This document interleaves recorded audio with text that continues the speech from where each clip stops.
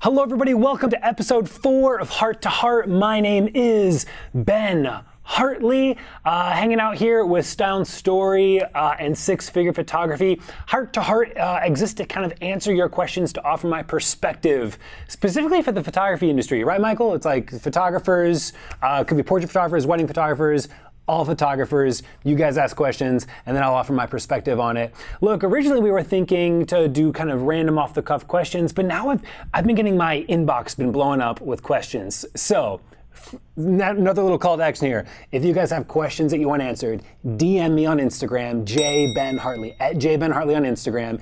DM me what questions uh, you would love to see uh, dedicated to, and uh, maybe we'll get a chance to answer it. Right? Uh, either that or YouTube. Uh, if you want to drop them down below in the comment section, it would mean the world to me. In the meantime, like, subscribe, ring the bell.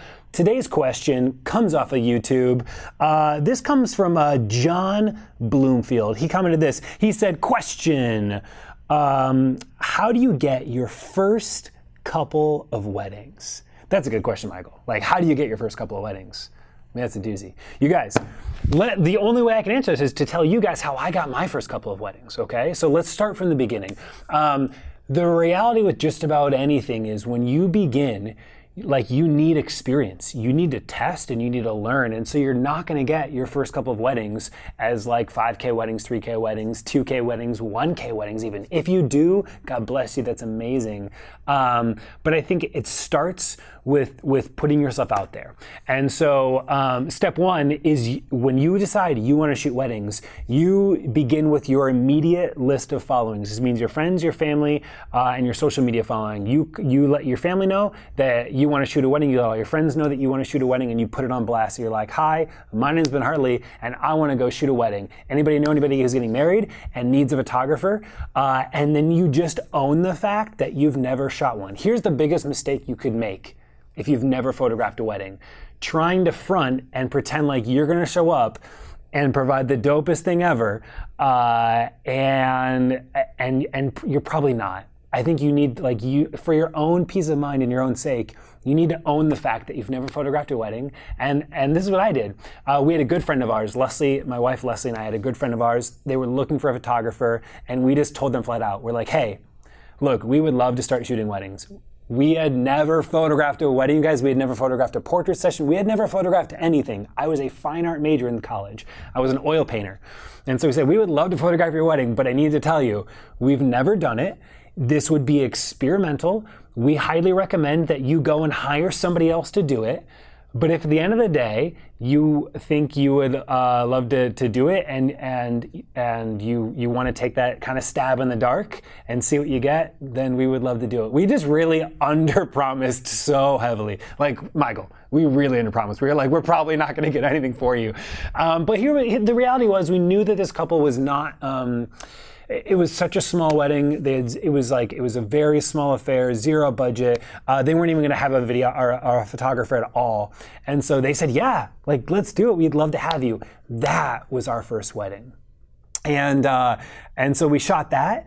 Uh, the next one came about uh, in the exact same way, you guys. We were like, look, we did one. We think it was pretty okay. We would love to do another one. And we reached out to another friend, uh, and their family member was getting married. And so it just began like this. Uh, it began with uh, putting in the work first, providing value first, and not trying to look for a paid gig right off the bat. Now, is essentially becomes spec work. Right in the commercial industry, it's like spec work, where you do the work and then uh, you're you're trying to eventually build something, but you just don't know if you actually build it. Right. The problem with this is that too often photographers um, we get we get comfortable in this route of charging nothing or charging so little, and we're scared to eventually uh, turn the switch and raise your prices. And so you just, like, as you get better, you have to raise your prices, right? And so don't stay here. Don't stay at free. Don't stay at $200. Don't stay at $300 or $500. You have to level up your game. Um, so after we got our first two, uh, by just literally putting it on blast to friends, family, and social media, the second thing that we did was we went to a bridal show. Okay, we went to a bridal show with the two weddings that we uh, that we had photographed. Very little portfolio work, very little experience, but But at this point, you guys, when you're this early on in your career, where you have only two weddings, only one wedding, only zero weddings and some engagement shoots, and you go to a bridal fair, the thing that you do get to compete on, and I wave the white flag, Michael. I like white flag is being waved here. I also understand this that when when there's another photographer who shows up at a bridal show and they're charging, you know, 900 bucks, 800 bucks, 700 bucks for a wedding, I also get it. Like that's what you get to compete on at the bridal show, right? That's what my wife and I competed on. We did a small show in our hometown and we we were like 750 bucks. Like that's what we did. And we booked people like we book people. There's there there's a clientele out there who like that that was the price point that they had. That was the budget that they had. We knew it was crazy cheap but we knew it was going to get work in the door. And so we did a bridal fair and we competed on price. We were bottom of the barrel and we knew it. We like acknowledged it um, but we needed work.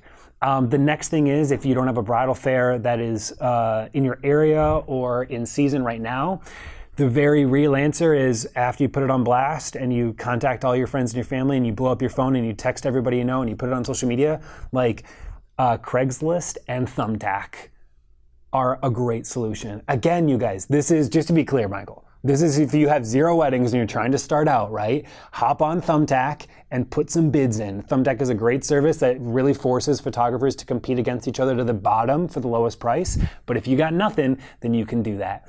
And so on Thumbtack, you can start uh, putting out bids for weddings. And actually on Craigslist can be a great option too uh, to, to at least get your foot in the door. So I would say that's how you get your first your first gig.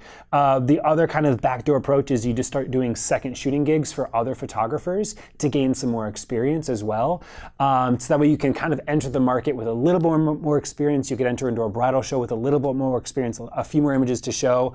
But honestly, I can only give you my perspective, and I didn't do that. You guys, I did not second shoot a single wedding before I headshot one just to be clear, I headshot it for free. I headshot my second one for free. And then from there, we acknowledged that we were basic and we acknowledged it was like 500 bucks for a wedding. And that's what we did for the first little while. So it was back in 2012 uh, is what we were up to. That's how we got our first wedding gig, you guys.